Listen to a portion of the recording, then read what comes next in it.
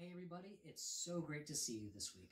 First off, before we do anything else, I want to thank each and every one of you because last week I asked a couple questions and I told you guys to put the answers in the comment section of the last video. Now we had a bunch of different comments go in, so I'm happy to say that we've choose we've chosen some winners. So the first question that we asked was to have a name for our balloon penguin that we made because that's my number one rule whenever I make a balloon animal. It always has to have a name. So the first name that we got comes from Eliana. She's the one that won, and the name that she gave for the penguin was Precious. So we decided on the name Precious the Penguin. So Eliana, thank you for your comment. Now the second question that I asked was uh, to have a joke. Remember I said that we would have a, uh, a joke and I would feature it on this episode, and that's what we did. So this joke's uh, this week's joke comes from Levi. Now Levi uh, asked the joke or posted the joke, and I'm going to go ahead and ask the question now, and you guys are going to have the whole episode to try and figure out what it is. And then at the end of the episode, I'm going to tell you the answer. So here's the question How come dinosaurs can't high five? I don't know. If you want to find out, make sure to stay to the end of the video. You know, that reminds me, I have very, very special plans tonight. My wife and I have had this night set aside for probably over a month now. Tonight we're going to have a super special dinner date. That's right, we're going to a very fancy restaurant. We're going to order the nicest food. We're going to dress up all fancy. It's going to be a really, really fun night. Actually, now that I think about it, I think I'm going to send her a text message and tell her how excited I am. So.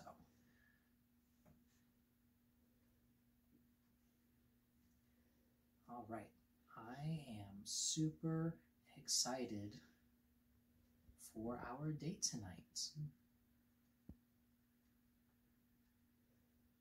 And send. yeah, I'm super, super excited about this restaurant. It's one of my favorite restaurants ever. I think I'm probably going to get the steak. Their steak is the best. And I'm most likely going to get it with a baked potato. Oh, it's going to be so good. Oh, I got a text message. That's probably her. Huh? Doesn't make any sense.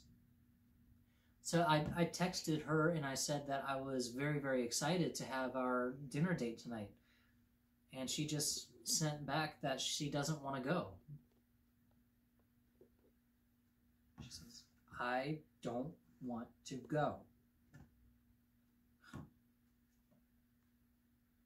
That's that's oh, that's rude. I, we've had this planned for over a month. I'm just and really hurts my feelings. I've put a lot into this. I've I've made sure I'm not working. I've made sure that the dinner reservations are there. We've we've already talked about it and planned it. That's just that's really upsetting. You know, I I don't want to talk to her anymore. No, I'm I'm not going to talk to her. Hold on, my phone's buzzing. Hmm. She's trying to call. Hmm. No, I'm not going to answer it. Hmm. I, I, I don't want to talk to her right now. She's really, really hurt my feelings. And I, I just don't want to talk to her why would she not want to go? And why would she just tell me now? Especially after I said I was very excited to go. That's just rude, and I don't like it.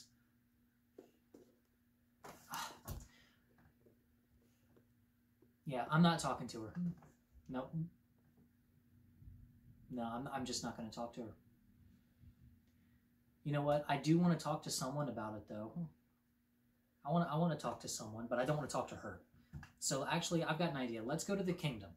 I bet if we go to the kingdom, I can I can talk with them and, and let them know how upset I am. Maybe they can even help me a little bit. But I'm not talking to her. I'm not. She's trying to call again. But I'm not talking. No. All right. I'll see you guys at the kingdom. Hopefully they can help. Bye. Hey there, guys. It's good to see you again. Hey there. I'm sorry to say, though, this might not be the best time for a visit. Hey there, Carrot Top. Really, Bucky? You talked to him, but not to me? Oh, that's funny. I thought I heard some buzzing. Must have been nothing. Bucky, please. You are just being childish.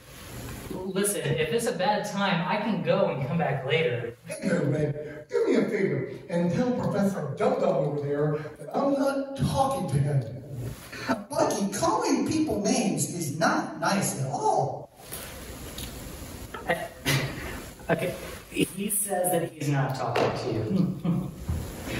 Don't encourage him. He's, he's egregious behavior. Please tell Professor Know-It-All that even if I could understand what he was saying, I still wouldn't talk to him. Bucky, I don't understand why you are doing this. You know, I can hear every word that you are saying. Know-It-All, I mean, Professor Smart, what is going on? That's the thing. I don't even know. He has been ignoring me all morning. Well, is ignoring someone really all that bad? Of course it is. Ignoring people is incredibly rude. Well, I mean, I've been ignoring someone all morning, but but they deserved it. That's horrible. No one should be treated like that. Hey, what'd they do to you? How'd know they did something to me? Bucky, did I do something to you? Is that why you aren't talking to me? Please tell Professor Kleinhans to zip it. I'm talking to one of the real friends. He says that you should just. Yes, yes, I know. I heard him. Right, all right. But to, but to answer your question, yes, someone did do something to me. I was supposed to go out on a really nice dinner date with my wife tonight. Ooh, fancy. Make sure to get the carrot stew. But see, that's the thing. We're not going to be going on to dinner anymore. Because when I texted her this morning, I said that I was super excited to go on the dinner date. And then when she replied, she said, I don't want to go. I know, right? I've had these dinner reservations for over a whole month. And I just got so upset after she texted me that that I haven't been talking to her. She keeps trying to talk and, te- and uh, she keeps trying to call and text me, but I just keep ignoring it. That isn't an appropriate way to handle the situation at all. The Bible says in Matthew 18 15, this is, if someone upsets you, that you should go and talk to them about it. But why would I want to talk to someone who hurt my feelings like that? Because most of the time, the other person probably doesn't even realize that they did anything to upset you. Doesn't that make sense? I mean, yeah, I guess it kind of makes sense. Bucky? Tell Professor E. Green. It might make a little sense, you know. Bucky, would you please tell me what's wrong? Fine, fine. You ate the last slice of carrot cake when you knew it was my favorite. I went to the fridge to eat it, and it was gone. I asked around, and Paco said that you, she saw you take it out. Is that it? Stop trivializing the sacred carrot cake. See, I know these words too. Lucky, I saw that there was only one slice left, so I took it out, and so no one else would eat it. I know that it's your favorite. I would never eat this last slice without asking you. I moved it to your shelf in the snack cabinet, so everyone would know that it was yours. You did that for me? Professor Smart, you are the best. I'm sorry, I, was ignoring you so much. I should have known the Bible would be right again. Actually, that reminds me of another verse, but I can't remember what it says. Hold on, let me find it. He sure is eccentric. You know, Professor Smart, I think that you might be right. I think it might be a good idea to go and talk to her and see see what's going on because it might be a mistake. Bucky, where are you? Are you coming back? Okay, okay, okay. Proverbs 19:11 says, "It's best not to get upset easily, and that God helps us when someone offends us." Wow, Bucky, that was quick. You must be a pro at using the concordance. Oh, I'm awful at playing the accordion, but it was a quick, uh, with it's quick because I was able to get to the Bible app on my phone, have a search bar, and just type a couple of words. Good to go. Well, you know, I think that just it. You know, I'm, I'm going to go talk to her. I think that's a wonderful idea. Just from hearing about it, it sounds like a misunderstanding. Yeah, I agree. That really doesn't sound like her. You know, I, I really appreciate all you guys do. You know, you you always seem to help me whenever I need it most, and I just really appreciate it. So I'm going to go talk to her, and I'll see you guys next week. Okay? So long and good luck. All right. Thanks. Wait. Why am I still here talking when I could be eating the last piece of carrot cake? See you next time, guys. Bye. Everybody, we're back from the kingdom, and I'm happy to say that I took Professor Smart and Bucky's advice and I decided to talk to Ashley. So it turns out they were right. It was all just a big misunderstanding. So when she texted me that she didn't want to go, it turns out it was just a typo and her phone changed it. What she meant to say was she can't wait to go, which means she was just as excited as I was. So all of that was for nothing. You know, I got my feelings hurt and I was mean and rude back to her for no reason at all. So I apologized and she was so, so great and she forgave me. So everything's great now. And tonight we're going to be going to our restaurant and uh, we're going to have a great night.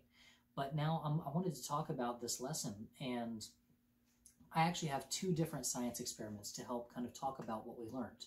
So for the second experiment, you should go ahead and get everything ready now. The second experiment, you I can't show you what it is. You kind of have to do it on your own. So try and get everything together that you need now. All you need is three bowls, some cold water, some room temperature water, and then some warm water. And you're going to put them in each of the different bowls. Okay, so you guys can go ahead and get that ready now, and we'll do our other experiment, and then we'll get to that one because you really need to feel that one to see what's going on. So for the other experiment, we're going to go ahead and do it now. All you need is a glass, and a round glass works best, and we just fill it up with water. And we have a piece of paper with an arrow on it. And to be fair, you can put any anything that you want on the paper. It doesn't really matter. But we're going to see something that's kind of cool.